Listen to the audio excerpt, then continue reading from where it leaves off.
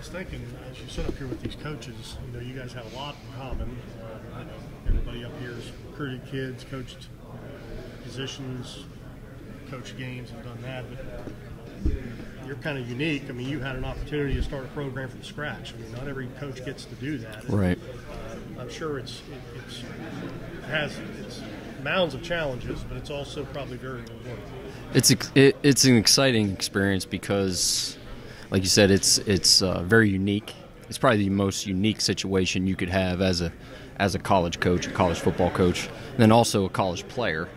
Um, to kind of start a program from ground zero, put your own stamp on it, your own mark on it right from the start. So, um, in comparison to the other schools in the league, you know, we we have a good university as far as athletics from top to bottom, very competitive in, in all our sports in the Mountain East. So to add football to that fray, I think makes sense. But yes, it's a unique and exciting opportunity, and one that you, you know, it's challenging, but it's not a situation where you have to go in and, you know, where it's been bad or coaches have been let go or players have been let go from the program.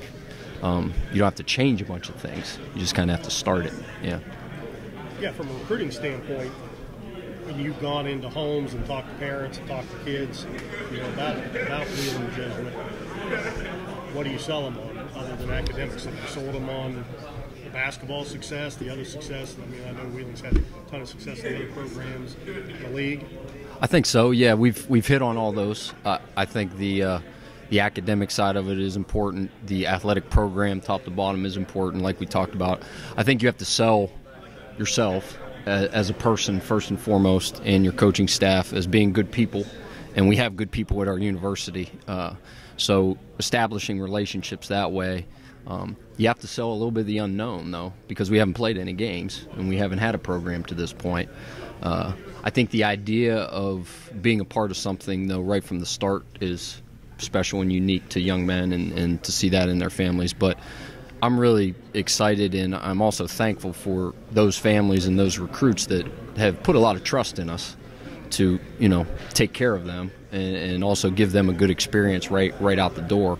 Uh, but you know it, it, it it'll be an uphill battle uh, right from the start. But I think if we just take on each day for each day, we can be successful in just daily individual battles and compete with ourselves first and foremost, and then worry about you know competition in the league and outside the league coming coming forward in 19. From a product standpoint, once you do have all of your pieces that you want, what will Wheeling Jesuit Cardinal football look like? Well, I think you know first and foremost we'll have uh, you know a toughness to us. I hope uh, a brand of football that's uh, defensively toughness means you, you tackle well. And then offensively, if you're a tough football team, you block well.